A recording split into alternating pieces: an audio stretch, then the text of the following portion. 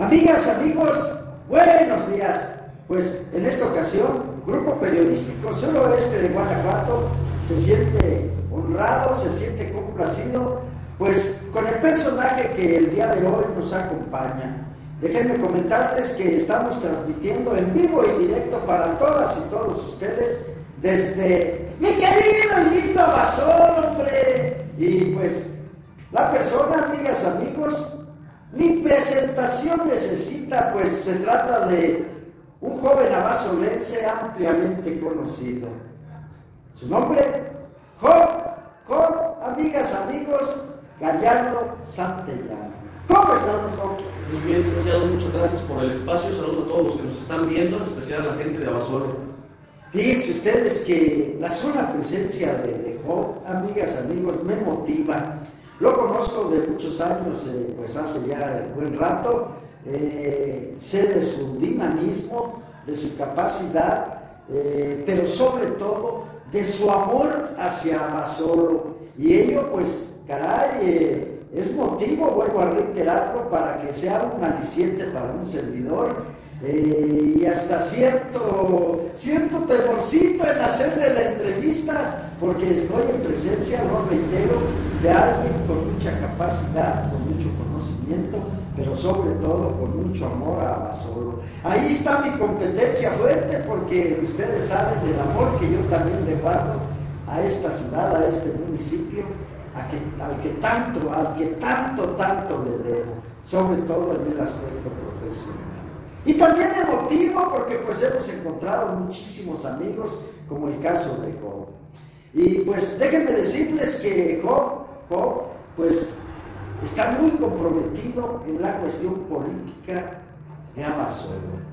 Y en estos días, pues ya eh, prácticamente en la antesala de lo que será la decisión ciudadana del 2021, esto es el proceso electoral 2021, nuestro amigo Job, vuelvo a reiterarlo, muy comprometido, desde un instituto político, desde el Partido Joven de México, Morena, Movimiento de Regeneración Nacional. ¿Cómo andamos ahí, Job?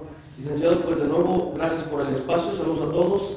Este, en estos próximos días Morena está a punto de tomar este, definiciones y lo que nos preocupa ahora es el proceso interno que estamos llevando en Morena con miras a ganar la presidencia municipal de Abasolo porque creemos que existen condiciones para ganar y sobre todo que tenemos los perfiles para poder competir ampliamente en Abasolo y que sobre todo eso tenemos una plataforma de gobierno que pretende darle un nuevo rumbo a Basolo y un cambio verdadero, sobre todo eso, aterrizar la cuarta transformación en este municipio. ¿Cómo ven? ¿Qué opinan, amigas, amigos de Abasolo, sobre lo que acaba de expresar Paul? Su servidor, amigas, amigos, no estoy domiciliado en Abasolo, pero me siento de Abasolo, eh, en esta bonita ciudad, en este bonito municipio, por lo menos cuatro veces por semana aquí estamos trabajando. Tengo 42 años trabajando esta bonita plaza y pues ello me permite conocer a muchísima gente, conocer mucha de la problemática de Abasolo, conocer también el avance que este municipio ha tenido, porque ha avanzado, ¿eh? Abasolo ha avanzado y bonito, pero también me permite conocer los tropiezos que ha tenido en materia de administraciones. Y valga la expresión, pues ya tenemos varios, varios trienios que Abasolo se ha visto inmerso, amigas, amigos, en una serie de tropiezos derivados de las pésimas administraciones municipales que han gobernado Abasolo. Y atinadamente lo dice Co, y coincido con usted, Co, es el momento, es el momento de que un nuevo proyecto político aterrice en Abasolo y acabe pues con esto que ha significado un tropiezo, inclusive un retraso en el avance de Abasolo. Las últimas administraciones, pues ¿qué les voy a contar? Pues esto es Voz Populi, esto es prácticamente del conocimiento de todas y todos los abasolenses que pues los partidos, los únicos partidos políticos que han gobernado Abasolo hasta ahorita, que han sido el PRI y el PAN, no han logrado satisfacer ni el bien común ni las necesidades de las y los abasorenses. Coincidimos con usted, adelante.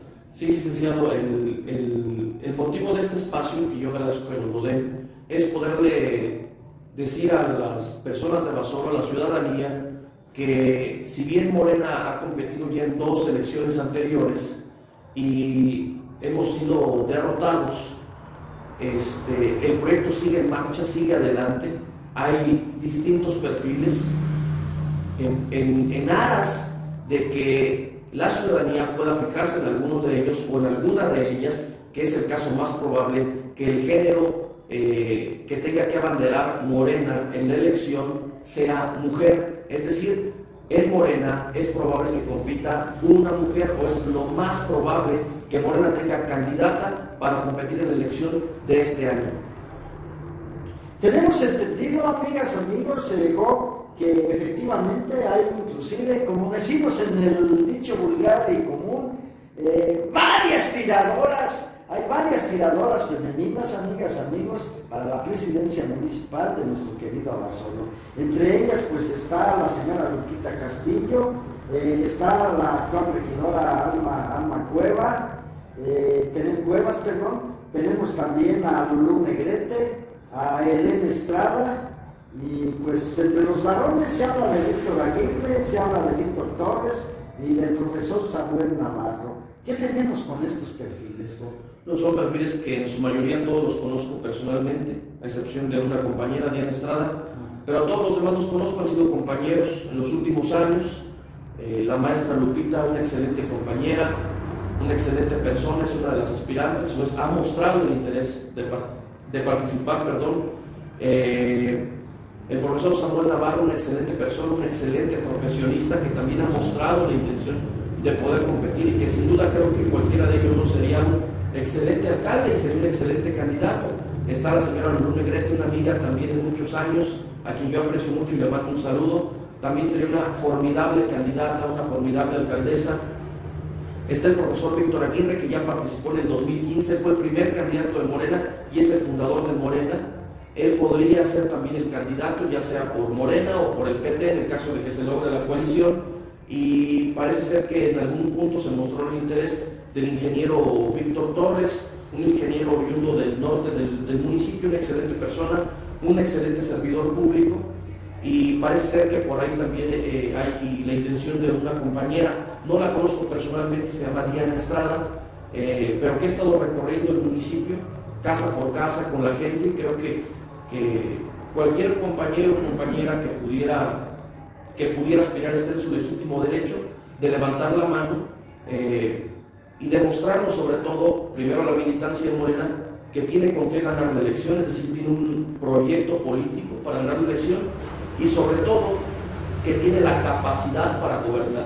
Uno de los problemas que usted menciona, licenciado, es que en las últimas administraciones como tal no han sido administraciones de gobierno, han sido gerencias como una empresa. Lo más que hemos tenido son gerentes o empresarios que juegan al ser políticos, pero no tenemos gobernantes. Y malos gerentes y malos, gerentes. ¿eh? buenos gerentes. Llevan a la quiebra a la empresa que es el municipio, Chihuahua. Pero entonces, eh, creo que Abasolo requiere que tengamos una gobernante o un gobernante que verdaderamente tome decisiones que no le den miedo decidir, porque en algún punto tienes que quedar mal con algo, tienes que priorizar, elegir entre una cosa y otra, y parece que los gobernantes que tenemos les cuesta trabajo elegir, y cuando eligen, eligen para su propio beneficio o el de la camarilla de ricos y de empresarios que los impulsó para llegar al poder. Se habla mucho que pues la maestra Lupita Castillo lleva cierta, cierta delantera en relación a las demás candidatas. ¿Será cierto? Hasta el momento es una de las aspirantes que ha mostrado mayor interés, pero de ahí a que sea la más fuerte, no creo yo que haya candidatos más fuertes que otros. Creo que todos están en las mismas condiciones. Morena garantiza esas condiciones y será dentro del proceso interno donde podamos determinar quién, es la candidata o en el caso del candidato, aunque yo creo que es muy complicado que se cambie el género. Va a ser candidata en Abasolo y ya tendría que pasar algo extraordinario para que cambie al género varón. Fíjese que, y fíjense también ustedes, amigas, amigos, eh, yo no coincido con lo que acaba de expresar, no coincido. Y les voy a decir porque al inicio, al inicio de, de esta grabación, yo lo expresaba, lo conozco de muchos años, sé de su capacidad profesional, de su capacidad intelectual, pero sobre todo de su capacidad como persona. No coincido, no coincido con lo que acaba de decir, porque pues me extraña que a Job no se le tome en cuenta para esta situación o que Job no diga esta boca es mía, cuando que me perdonen y me, y me disculpen todas las personas que están aspirando a la presidencia municipal, a la candidatura por solo, por parte de Morena, pero en Job, en Job tenemos un candidato, tendríamos un candidato si él se decidiera, un candidato, por no decirlo, casi invencible. Así de sencillo. ¿Por qué Job no ha dicho esta voz que es mía en este proceso? Licenciado, le agradezco sus palabras, le agradezco ese, ese, detalle, la diferencia. Sin embargo, eh, Morena se vio inmersa en una serie de procesos un poco complicados. Es un partido joven que llega muy pronto al poder y eso genera una serie de fricciones naturales en los movimientos políticos de división y en aras de abonar a la unidad o a la unificación de fuerzas, yo he decidido mantenerme al margen del proceso, pero he decidido no levantar la mano porque creo que hago más daño siendo otro más de los que quieren una rebanada en el pastel. Creo que tenemos excelentes perfiles y creo que con ellos puede ser suficiente, puede ser, pero hasta el momento yo he decidido mantenerme al margen para no crear más división, pero también voy a estar donde mi partido me lo pida, donde el partido me diga, aquí queremos que estés, ahí voy a estar, porque no es solo un proyecto personal, no es el hecho de quítate tú para ponerme yo, es decir, yo voy, yo quiero ser, yo soy mejor que tú, sino de lograr que independientemente de quien gobierne, se gobierne para la gente, que se deje de apoyar a los ricos de siempre, que se deje de servir la presidencia municipal para una poca camarilla de sinvergüenzas, pero que se ponga al servicio. Y creo que hasta el día de hoy Morena es el único instituto político que puede, que puede ofrecer eso. Y mi interés es que primero le demos a la ciudadanía una plataforma real de gobierno que les podamos decir, esto es lo que ofrecemos, esto es nuestro, nuestro proyecto y que en segundo lugar podamos ya decidir quién puede ser la candidata o el candidato. Ustedes lo acaban de apreciar, amigas, amigos, les decía hace un ratito, estamos transmitiendo desde las oficinas del Grupo Periodístico Suroeste de Guanajuato, aquí en lo que es la calle Echegaray Norte número 320, estamos completamente aislados, eh, los accesos están cerrados y si lo, lo notaron ustedes, un vehículo con unos decibeles de ruido tremendos, se escuchó muy bien en el video ni eso han podido controlar los gobiernos municipales que desafortunadamente han tenido mi querido Emilio Abasolo. De ahí que sí se requiere de una nueva alternancia en el poder. Y si eso es tan solo en ese ruido que acabamos de escuchar, imagínense en otros temas que en verdad requieren de la atención, dedicación, esfuerzo y entrega de un gobierno. Job, probablemente mucha gente se estará preguntando, bueno, y Job ahora, ¿por qué en Morena? Eh, ubicamos a Job, a su familia, eh, enraizados en un instituto político como lo es el Partido Acción Nacional. Eh, ¿Qué motivó a Job?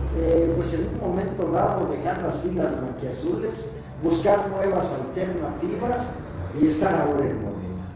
Bueno, formalmente nunca estuve yo militando en el PAN este, cuando mi familia participó en el PAN, yo era un niño de algunos 8 o 9 años. Mi abuelo fue diputado local y federal por el PAN. Fue inclusive el primer diputado local, amigas, amigos, eh, por aquí de toda esta región, que ascendió al Congreso del Estado de Guanajuato. Me refiero al señor Napoleón García. Pero, pero de ahí a que yo me identifique con el PAN, no. En mi etapa de adolescente yo tuve que estudiar en un seminario, estuve siete años en un seminario y cuando ya no continué mis estudios en el seminario, este, continué estudiando Derecho y en ese transcurso de tiempo yo decidí que quería participar en la política, quería aportarle algo a mi municipio y que el lugar donde yo me identificaba ideológicamente y éticamente era, en Morena era con el movimiento obradorista del, presidente, del hoy presidente de la República. Yo empecé a ver que el PAN se descompuso desde hace mucho tiempo, mi abuelo incluso renunció allá por el 95, es decir, mi abuelo prácticamente después de ser diputado federal deja el PAN, abandona el PAN, porque ya veía la podredumbre en la que se había convertido, que no tenía ni siquiera comparación con el cochinero que es el día de hoy, el gobierno del Estado, lo que hemos tenido, el desastre de seguridad que tiene el Estado y el robo indiscriminado que hemos tenido en los municipios de toda la región.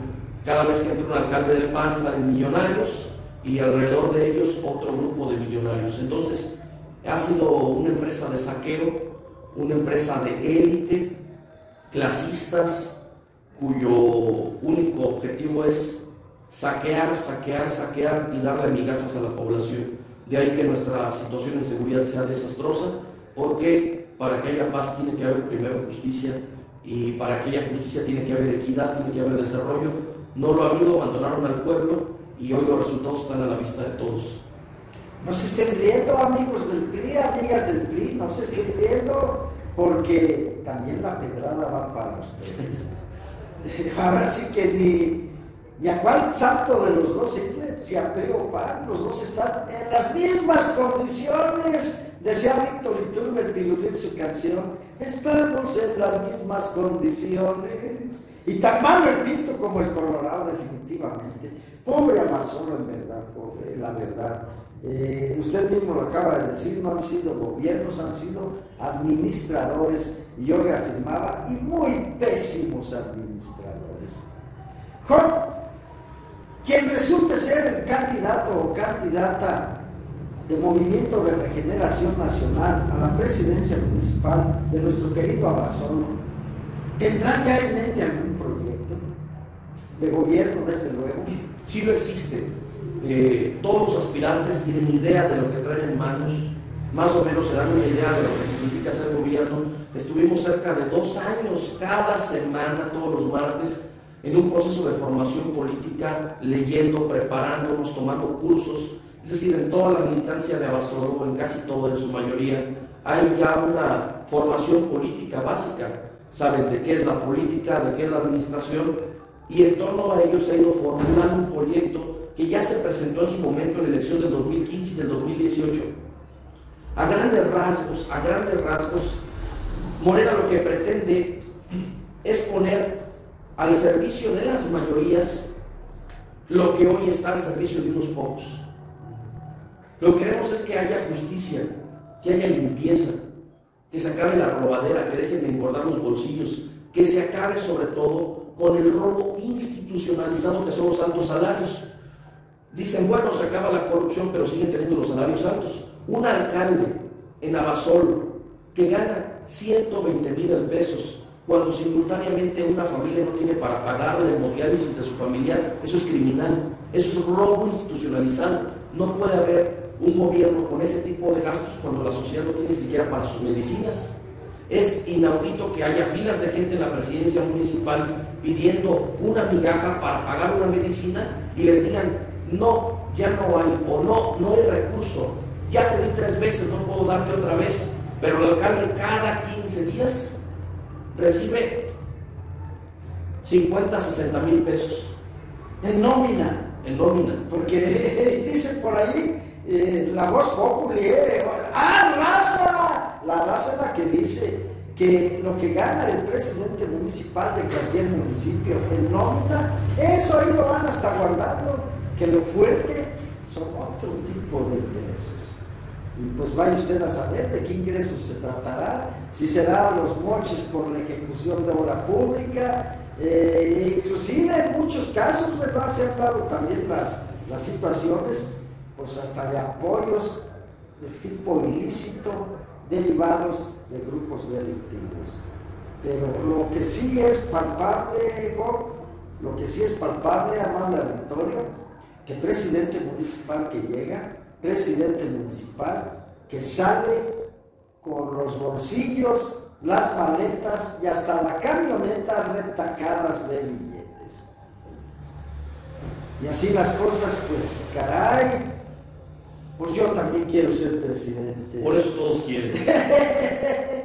pero, pero, amigas, amigos, la ofensa tiene medida. Y no todos, no todos son unos pillos. Hay gente con afán de servir, hay gente con afán de en realidad llevar a cabo un buen gobierno. Hay gente que no llega con el ímpetu y con la avaricia de enriquecerse ilícitamente. Y en la cuarta transformación hay que recordarlo muy bien, una de las premisas fundamentales del gobierno que encabeza el señor Andrés Manuel López Obrador. Mi querido Peje, hombre, un saludote a mi. Una de sus premisas es precisamente la honestidad. Y esa honestidad debe de ser desplegada a todos los estados de la República Mexicana, a todos los municipios de nuestra querida patria y desde luego a nuestro querido Abasolo. Y dentro de los perfiles que se están manejando, pues conocemos, conocemos a todas estas personas y al menos pues no sabemos que tengan cola que les pise. ¿Considera usted que quien resulte candidato o candidata eh, de Morena a la presidencia municipal de nuestro Abasolo pudiera derrotar con la mano en la cintura al candidato del PAN o a la candidata o candidato del PRI? Dependiendo de quién sea el candidato o la candidata. Por ahí se habla en el PRI de la maestra Rossi, en el PAN pues se habla del amigocho Abel Gallardo. Creo que tenemos perfiles de sobra para poder ganar la elección con un amplio margen. Pero no es solo el perfil que pueda presentar Morena. Morena puede presentar al mejor candidato, al mejor, a un prototipo de candidato. Pero si no se presenta un proyecto de gobierno y no se compromete ese proyecto a realizarse, pues de nada sirve incluso que ganemos la elección. Si vamos a ir a hacer lo mismo que ha hecho el PRI y el PAN, pues mejor que no voten por nosotros. Si vamos a ir a hacer las mismas cochinadas que ya se han hecho, de nada sirve tener al mejor o a la mejor candidata. No sirve de nada. De nada sirve tener al más preparado, al, al con más títulos, al que no tenga cola que le pisen, al más saludador, al más buena gente, si no está dispuesto o dispuesta a tomar las decisiones radicales que requieren los problemas de basura para arreglarse. No podemos seguir paliando los problemas, maquillándolos, levantando una callecita y arreglándole, poniéndole chapopote al desastre de, obra hidráulica que tenemos. Eh, tiene que haber un cambio profundo. Tiene que acabarse, por ejemplo, quizás la gente de Abasolo no lo sepa, pero cada mes, cada mes, solamente en nómina en salarios de la presidencia municipal de Abasolo se gastan casi 9 millones de pesos. Eso cuesta tener a, la presidencia municipal trabajando. 9 millones. Yo me hago esta pregunta. Una empresa privada, del ramo que sea, que gasta 9 millones mensuales en trabajadores, ¿cuál debe de ser su ganancia o su utilidad? ¿Qué empresario gana 9 millones y se los gasta en nómina. Ninguno, porque quebraría la empresa. Pues eso es lo que pasa en Abasolo. El alcalde actualmente 120 mil pesos, los regidores, la síndico o el síndico 80 mil pesos, un regidor 60 mil pesos, y así se van los salarios. De ahí para arriba, por eso cualquiera quiere una rebanada de pastel. Todos pelean por regidurías, todos pelean por ser el presidente, porque dicen, bueno, con un salario, de, como dice este senador de, Nuevo León, con un sueldito de 50, 60 mil pesos ya la hice. Puedes ser muy feliz porque tienes tres años de estar de flojo sin trabajar y no te preocupas de nada, porque básicamente es llegar al, al cabildo, levantar la mano y los problemas como si. Eso es solo de nómina. 9 millones de pesos. Nosotros sostenemos desde la elección pasada que lo máximo que nos pudiéramos ganar, gastar son cerca de 5, 4.5 o 5 millones de pesos en salarios y con el otro sobrante, el ahorro, tenemos para otorgarle al hospital regional que tenemos en Abasolo una plantilla de médicos especialistas, 24 horas.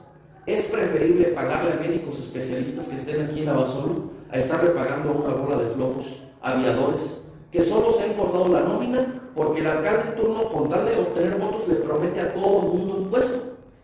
Entonces, de repente te das cuenta que cada año engordan 50, 60 puestos porque hay que responder a los compromisos. Pero llegas al hospital, llega una mujer embarazada, pide un ginecólogo, una ginecóloga, y no hay un ginecólogo. Es inaudito. Alguien llega con una fractura, no hay por qué, no, no tienen cómo tomarle una radiografía, unos rayos X, porque el radiólogo no se encuentra. Eso es criminal. No puede haber un gobierno que gaste ese dinero cuando su hospital no tiene ni siquiera lo más básico. Definitivamente. Y esa es la gran realidad de las cosas.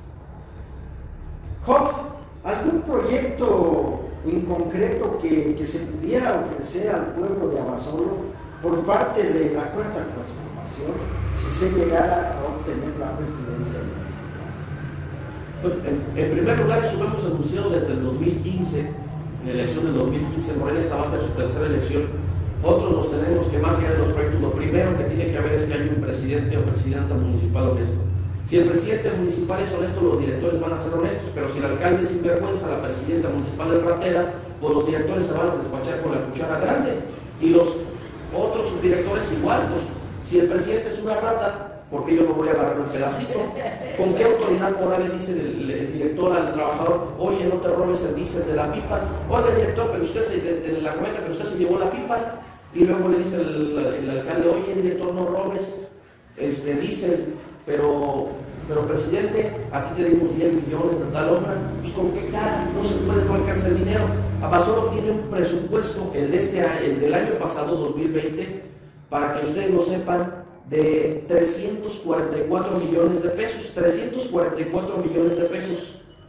Si la gente de Abasolo se lo pregunta en qué se han gastado, échenle ahí un poquito de matemáticas, 9 millones mensuales de nómina. Échenle en 12 meses cuánto se gasta ya del presupuesto de los 344, más de 100 millones ya se fueron en pura nómina. Y los otros millones que quedan, pues ustedes se pueden dar cuenta, pues pintaron todo el pueblo, todo el pueblo. En eso se el dinero, en arreglar dos, tres parquecitos, pero de ahí a que haya un cambio profundo. No lo hay. Nosotros creemos que lo principal es darle salud al pueblo, tenemos que readaptar el, hospital regional que tenemos, tenemos que darle, el municipio tiene que pagar médicos especialistas ahí, que quizás no van a ser intervenciones, pero sí vas a tener una consulta gratuita. Las 24 horas va a haber un oncólogo, un nefrólogo, todas las especialidades, la mayoría creemos que tener una plantilla de 30 médicos especialistas en un turno de 8 horas un intermedio y otras 8 horas de 16 horas exactamente estaría cubierto eh, médicos especialistas en el hospital con el ahorro, solo es en el plan de austeridad. Nosotros creemos que tenemos que rescatar el cerro de Abasolo, sobre todo porque Abasolo se encuentra enclavado en la zona Bajío y es una de las zonas con mayor estrés hídrico. Es decir, tenemos un grave problema de agua potable a futuro. No tenemos el agua ya garantizada de aquí a 45 años. Cuando lleguemos en 45 años, Abasolo va a estar sin agua y una eh, parte fundamental es lograr recuperar nuestra reserva ecológica, impulsar el desarrollo a través del programa de Sembrando Vida, es decir, el, presidente de la República nos ofrece un programa para tener guardabosques que son fuentes de empleos directas, 100 fuentes de empleos directas para reforestar el cerro y que eso sea nuestra primera, nuestra primera, digamos, esponja que empiece a traer agua y poder estar recuperando nuestros mantos hídricos. Porque finalmente no es un gobierno que pretende hacer eh, solucionar los problemas de tres años, sino a futuro tenemos que empezar a plantear que Abasolo es una ciudad ya en un, no un pequeño pueblo que requiere medidas este, muy sencillitas, sí se requiere un poco ya más de, profundidad en las decisiones que se van a tomar. Fíjense ustedes, amigas, amigos, ya hace muchos años ya llovió su servidor, fui dirigente estudiantil cuando era estudiante allá en la Universidad de Guanajuato. Eh, como dirigente estudiantil, pues ¿qué no quiere uno hacer por, su pueblito, llevar eventos y todo eso? Y recuerdo que una ocasión fuimos, organizamos lo que era una semana cultural y fuimos a pedir el apoyo a la presidencia municipal. Como estudiantes no teníamos dinero. ¿En qué consistía el apoyo? Pues en que se nos facilitara por ahí para la cuestión de los viáticos, de los grupitos musicales que íbamos a presentar, que se les diera una cenita XX. Me acuerdo que me dijo el presidente municipal, mira Pancho Camarillo, no hay problema, los vamos a apoyar con eso, pero ¿por qué no ves más a futuro? El hecho de traer ahí una rondallita que se suba al kiosco, cante dos, tres cancioncitas y va para atrás, pues ¿qué le reditúa a, tu pueblo?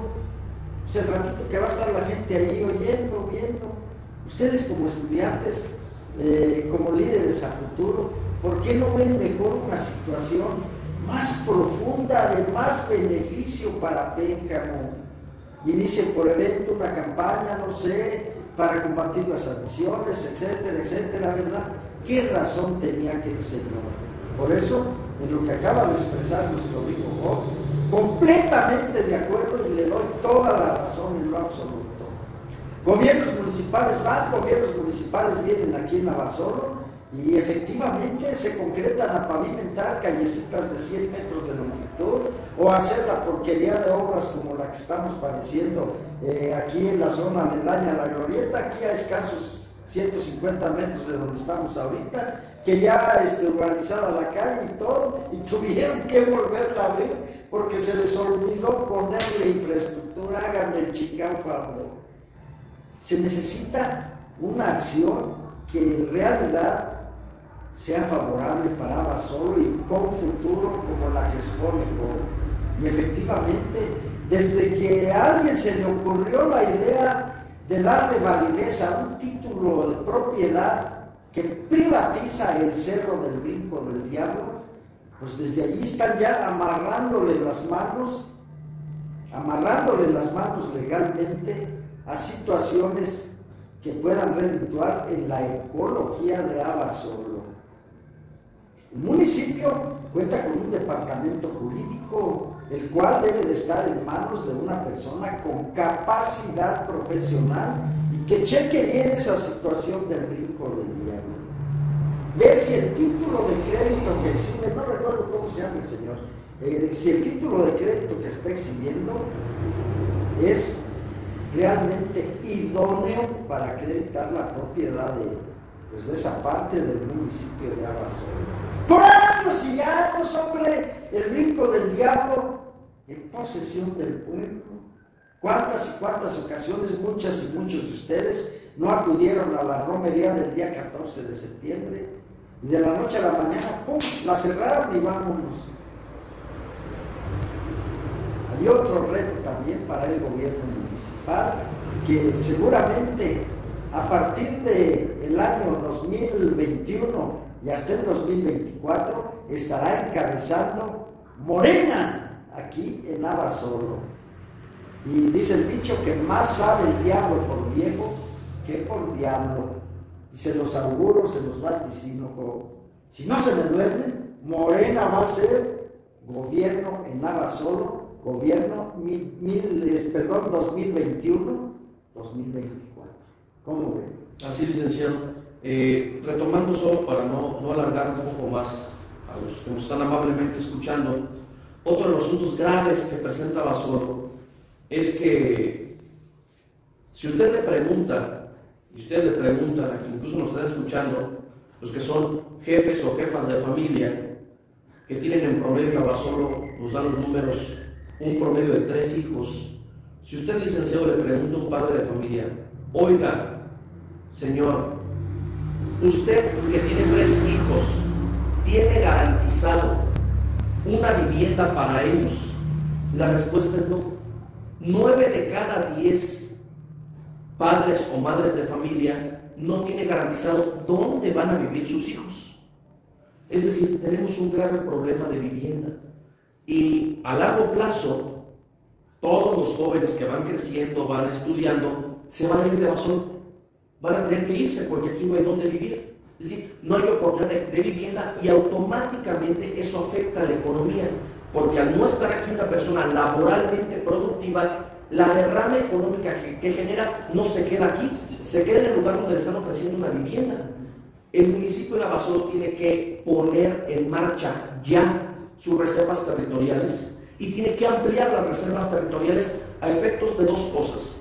Trabajar con la iniciativa privada a efectos de desarrollos inmobiliarios con facilidades y que no estén inmersas en corrupción para facilitarle a la gente el acceso a una vivienda económica y digna y del lado del gobierno poder trabajar para impulsar que cada familia basolense, sobre todo los de la cabecera, que son los que padecen más este problema, tengan acceso por lo menos a un premio de las reservas territoriales, porque esto es un problema gravísimo, licenciado. Si no logramos retener a nuestra gente, a nuestra fuerza laboral productiva, para que derrame económicamente aquí, Abasolo económicamente va a seguir estancado. Porque al no tener que dónde invertir mi dinero, fincar una casa y gastar el dinero aquí, ese dinero se va a otros lugares. Y Abasolo en vez de ir evolucionando, va a ir involucionando. En vez de tener una explosión demográfica, vamos a empezar a padecer una implosión. Empieza a volverse pequeño y empieza a volverse un pueblo fantasma. Y se puede apreciar, amigas y amigos, eh, la gente pues ya no encuentra dónde canijos establecer sus domicilios. Esto ha motivado inclusive que organizaciones criminales como la UCOPI de Irapuato hayan venido a Basolo y estén estafando a muchas familias abasolenses, vendiéndoles terrenos que ya están vendidos, que inclusive en su momento, si no mal recuerdo, en el año 2000, el gobierno municipal de Abasolo dio la autorización plena para que se fundara ese fraccionamiento de esfuerzo y lucha y que posteriormente, gobierno del Estado, qué chulada de familia panista, fomentan, fomentan las invasiones de terrenos a través de la UCOPI y vienen y quieren joder a las y los amazolenses, no se vale. Por eso los gobiernos municipales deben de estar atentos a esa problemática. Y qué bueno, que el movimiento de regeneración nacional eh, esté contemplando ese tipo de situaciones. Que en realidad, me consta, las y los abasolenses padecen, padecen del problema de vivienda, efectivamente. Eso es a grandes rasgos las primeras acciones que se tienen. Hay una larga lista de proyectos que puede encabezar Morena. Sin embargo, creemos que eso es lo prioritario nuestra gravedad en el estrés hídrico, tenemos que garantizar agua potable para las futuras generaciones, tenemos que garantizar el derecho a la vivienda de, nuestras familias, de todas las familias, y este, tenemos que acabar con el robo institucionalizado. Tiene que acabarse el robo en las presidencias municipales, tienen que bajarse los salarios. Un alcalde de Navasolo no puede ganar, según yo, puede alguien que opine diferente, ese es problema de ellos. Yo sostengo que el presidente de Navasolo no puede ganar más de 20 mil pesos, porque es un servicio Mire, yo le voy a contar solo para terminar esta parte. Durante la época más complicada de nuestro país, la más complicada, cuando era presidente el presidente Benito Juárez, sus generales que habían combatido a los franceses, uno de ellos, Vicente Rivapalacio, un poeta, estuvo tres años combatiendo a los franceses en las montañas de Michoacán, cerca de Zitácuaro, cuando son expulsados los franceses, después de tres años de lucha, el presidente Juárez manda llamar al general Riva Palacio, que había puesto de su bolsa para pagar a su ejército, y le dice, general, le debemos tres años de salario, eh, es tanto. Y le dice el general Riva Palacio, discúlpeme presidente, pero no lo puedo aceptar, me sería muy penoso cobrarle a la patria por haberla defendido. A la patria se le sirve, no se le cobra. Entonces, me parece vergonzoso ver a presidentes piñata como los que tenemos actualmente ganando 120 mil pesos con guaruras cuando el presidente Juárez que ganó tres guerras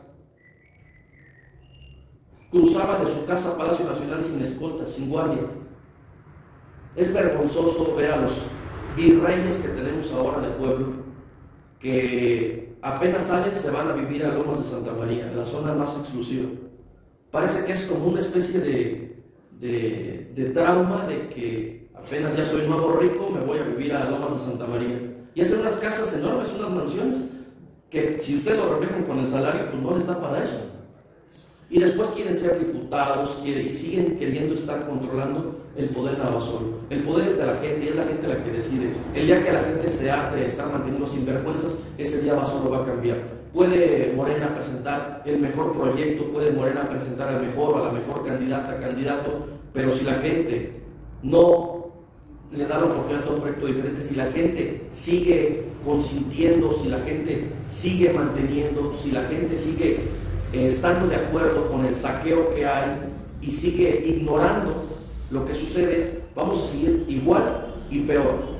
Pero es hasta que la gente quiera, no hasta que la clase política, la élite económica, porque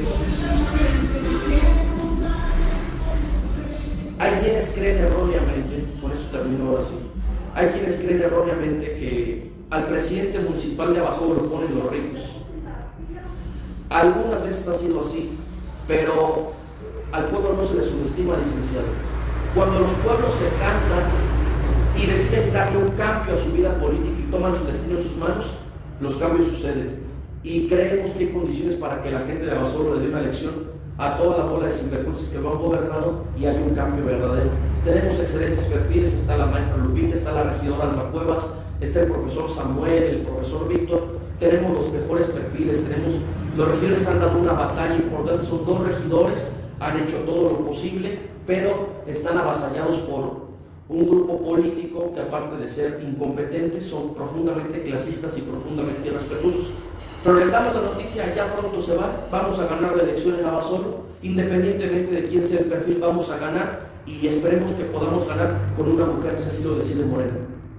Yo me gustaría, para poder cerrar esta ligera entrevista, eh, que nos diera algunas referencias, algunos datos personales, donde lo pueden localizar, eh, algo muy particular de usted, por favor. Bueno, yo les cuento rápidamente, nací aquí en Navasolo, tengo 26 años, voy a cumplir 27 años.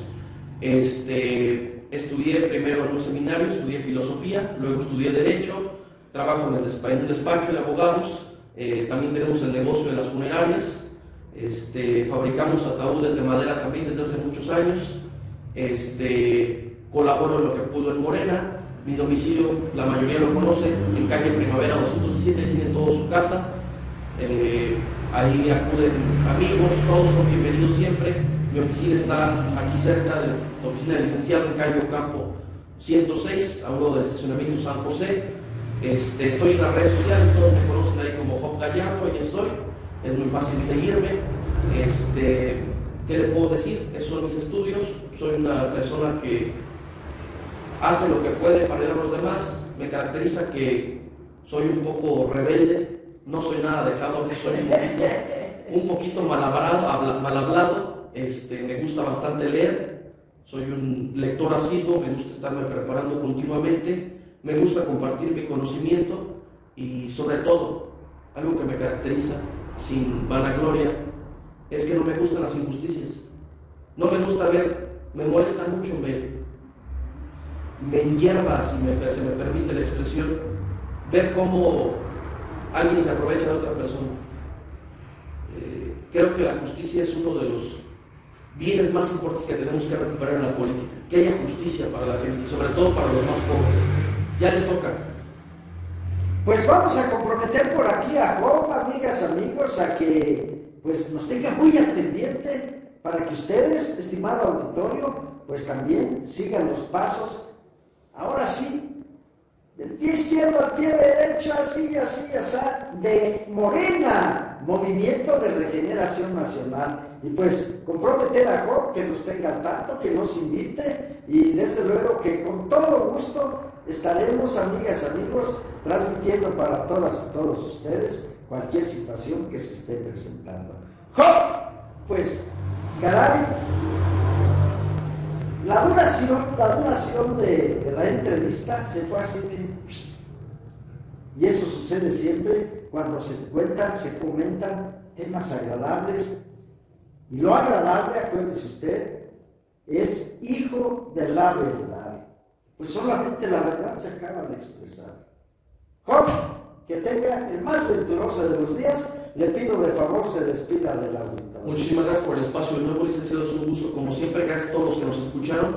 Eh, estamos para servirles y gracias por su paciencia y su atención.